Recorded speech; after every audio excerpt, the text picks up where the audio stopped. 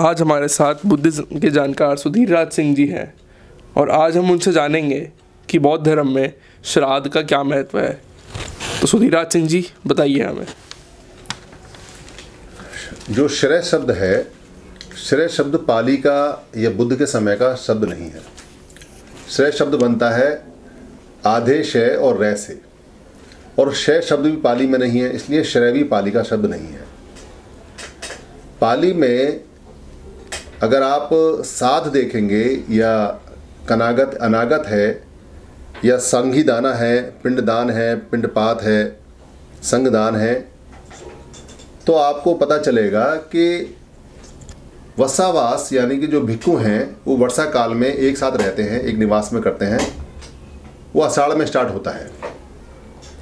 और अषाढ़ की पूर्णमासी के बाद जब पूर्णमासी आती है, सावन वाली, और फिर भद्र वाली आती है तो भद्र पूर्णमासी के बाद में ये समय स्टार्ट होता है। और अश्विन पूर्णमासी आने वाली है तो तीन महीने लगभग वत्सावास में पूरे होने वाले हैं। दो महीने हो चुके हैं, और दो के बाद, दो महीने के बाद लगभग इकसठ से लेके और पिछहत्तरवें दिन तक के बीच में ये आता है। तो यहाँ, चूँकि बारिश जा चुकी होती है, और लोग अपने काम पर जाते हैं तो एक नियम बना कि जो भिक्खु हैं वत्सावास में जो रहते हैं जगह जगह बौद्ध बिहारों में, उनको भोजन की व्यवस्था कैसे की जाए? और उस समय जो व्यक्ति है, परिवार है, वो अपने जो माता और पिता हैं, उनको अपनी खुशहाली के लिए याद करता है। और जो उसने काम उनसे सीखा है, उनको याद करता है। तो नियम ये था कि अपने आप को शुद्ध करने के लिए एक परिवार, जिस दिन उसके सबसे ज़्यादा परिवार के क्लोज बंदे की डेथ हुई है, यानी पास वाले बंदे की डेथ हुई है तो वो दिन एक फिक्स होता है। जैसे इक्यासी है, या द्वादश है, या पूर्णमासी है, या अमावस है, या अष्टमी है, या नवमी है, ऐसे करके। तो वो उस दिन को याद करते हुए साधना में बैठता है, साध करता है। और वो महा उपोषित करता है, या उपोषित करता है। और उपोषित के लिए महा के लिए वो भिक्षु के पास जाता है भिक्षु उसको शील देते हैं। सील देने के बाद में वो अपना, चाहे तो अपना सर भी मुंडा ले, क्योंकि साधना में सर मुंडाना भिक्षुओं का एक श्रामणेर का एक पारंपरिक कार्य होता है। फिर उसके बाद जब वो अपना उपसद पूरा कर लेता है तो वो भिक्षुओं को संगदान, यानी संगी दाना या पिंडपात कराता है। पिंडपात का मतलब क्या है? पाली के समय में पिंड बोलते थे, जो सबसे बेहतरीन खाना होता था शहद, दूध और चावल मिला के क्योंकि मीठे के लिए वहाँ शहद मिलाते थे और दूध होता था और चावल। इसको हम पिंड बोलते थे और पिंड आहार को भी बोलते हैं पाली में। तो पिंड दान कराना या पिंड पात कराना या पिंड चारी का तो वो चावल जो इकट्ठे होते थे, शहद और दूध के, उसके गुच्छे को पिंडी बोलते थे। आज भी बहुत जगह पिंडी बोलते हैं। तो पिंडी जो होती थी, यानी पिंड पात और पिंड दान जो होता था, वो भोजन और आहार दान होता था उस समय का। ये एक नियम बना कि सभी अपने माता पिता को याद करेंगे, उनके अच्छे कामों को याद करेंगे, साधना करेंगे, साध करेंगे, और साध के फिर भोजन दान कराएँगे, भिक्खु दान दान कराएँगे, और ये परंपरा लगातार चलती रही। इससे जो वसावास के लिए भिक्खु इकट्ठे होते थे, उनके लिए भोजन की उपलब्धता क्रमश होती रहती थी, one by one one day by one one day, पंद्रह दिन तक के लिए। और सब लोग अपने याद करते थे और व्यवस्था चलती रहती थी, और जनजीवन भी साधारण चलता रहता था, क्योंकि आने वाला समय है। तो इसको अनागत भी बोलते हैं। बाद में ये शब्द कनागत पड़ गया। अनागत का मतलब है अनागत। जो गति अभी आई नहीं है, यानी फ्यूचर का समय जो अच्छा आने वाला है। तो इसको अच्छा आने वाला समय भी बोलते थे तो इसको अनागत के नाम से बोलते थे। तो साध शब्द और पिंडदान या संगीदाना या संगदान या पिंडपात, उस समय के ये सारे शब्द हैं जब ये प्रक्रिया होती थी और ये लगभग पंद्रह दिन तक ये चलती थी। तो इस प्रक्रिया को करने के लिए अधिकतर लोग कई बार ऐसी जगह भी जाते थे भारत में जहाँ सबसे ज़्यादा भिक्खु संघ रहते थे और जहाँ सबसे ज़्यादा वसावास में भिक्खु अध्ययनशील होते थे, पढ़ते थे और पढ़ाते थे। तो ऐसी जगह भारत में बहुत इंपॉर्टेंट थी और लगभग सात जगह ऐसी थी। सबसे पहली जगह थी जहाँ बौद्धि आगत हुई। यानी बोधि का आगमन हुआ, बौद्धि आगत, जिसको बाद में बौद्ध गया बोला गया।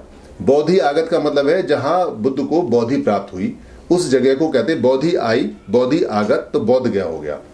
तो बौद्ध गया में जो रिवर है, रिवर के साथ में, क्योंकि वो रिवर क्या है, लगभग मैदान है, और बरसात के दिनों में वहाँ पानी खूब आता है, बाकी वो चलती रहती थी, बड़ा कम सा पानी वहाँ होता है।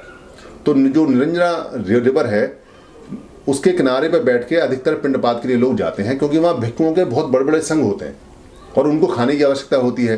तो उनका वहाँ मन भी लगता है, और वहाँ साधना भी अच्छी होती है, क्योंकि वहाँ धम्म में बुद्ध ने वहाँ बोधि प्राप्त की तो इसलिए पहले स्थान पर उस स्थान पर सबसे ज़्यादा लोग पिंडपात के लिए लिए जाते हैं। पिंडपात का मतलब है भोजन देने के लिए, आहार देने के लिए, भिक्खुओं के लिए टीचर्स के लिए, जो वहाँ टीचर्स हैं।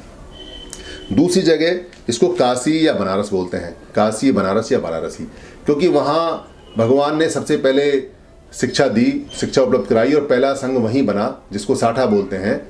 तो उसके लिए वहाँ अधिकतर भिक्षु संघ होते हैं और उनके लिए खाने की ज़्यादा आवश्यकता पड़ती है तो कुछ लोग वहाँ जाके अपना पिंडपात यानी भोजन दे देते थे, अपने माता पिता की याद में विपसना करने के बाद, साधना करने के बाद, साध करने के बाद। तीसरे नंबर पे आता है इसको बुद्धनाथ। बुद्धनाथ वो जगह है जो आप जानते हैं जैसे अत्ता ही अतनो नाथो।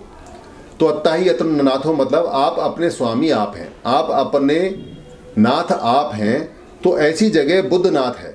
बुद्धनाथ को बाद में बद्रीनाथ करके बोला गया। वहाँ लोग पिंडपात के लिए जाते हैं क्योंकि वहाँ भिक्षु बहुत ज़्यादा रहते थे। वो एकांत में विपसना करने के लिए, साधना करने के लिए, साध के लिए बहुत अच्छी जगह मानी जाती थी। फिर आता है संगम, इलाहाबाद, जिसको प्रज्ञा बोलते हैं। प्रज्ञा का मतलब है प्रज्ञान, यानी संघ का जहाँ सबसे ज़्यादा आगमन होता है और वहाँ प्रज्ञा का गमन सबसे ज़्यादा होता है। तो उसको प्रयागराज बोलते हैं, यानी प्रज्ञा का राज। तो यहाँ, वहाँ सबसे ज़्यादा भिक्खु रहते थे, इसलिए वहाँ खाने की आवश्यकता होने की वजह से लोग वहाँ भी जाते थे। फिर आता है थनेसर।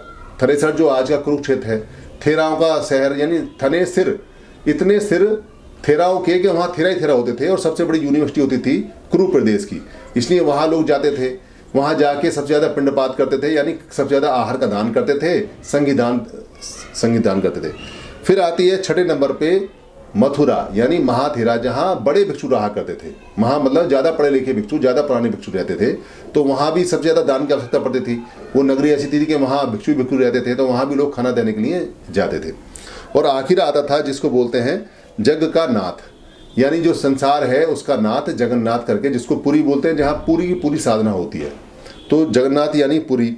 तो ये सात स्पेशल स्थान है भारत के अंदर, जहाँ सबसे ज़्यादा भिक्खु रहते थे और सबसे ज़्यादा जहाँ पिंडपात या जो सबसे ज़्यादा भोजन दान या संगीदान या या संगदान, ऐसा करके वहाँ दिया जाता था और अनागत यानी अच्छा समय आने वाला होता था। तो ये सारा का सारा जो उपोषत है, यानी कि जो पिंडदान है, ये खाली इसी पंद्रह दिन के लिए नहीं है। इसका नियम खाली पंद्रह दिन के लिए नहीं है कि आप साधना सिर्फ़ साल में पंद्रह दिन करेंगे।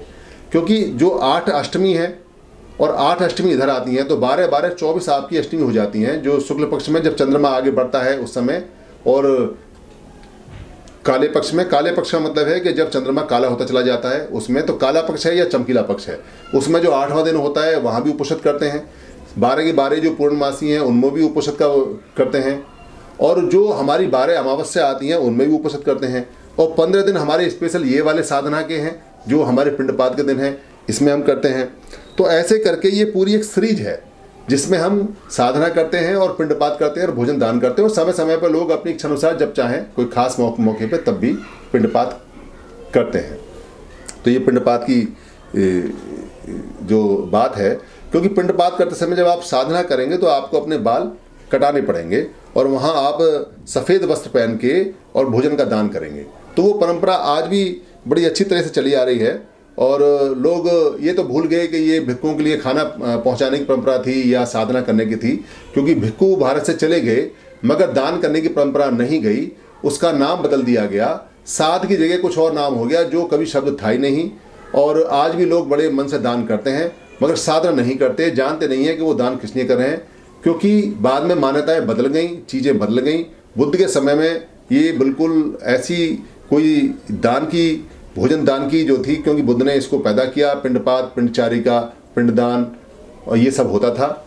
और आज की डेट में हम इसको साध बोलेंगे, कनागत बोलेंगे पिंडपात बोलेंगे, पिंडदान बोलेंगे, संघिदान बोलेंगे या सांघी दाना बोलेंगे। धन्यवाद।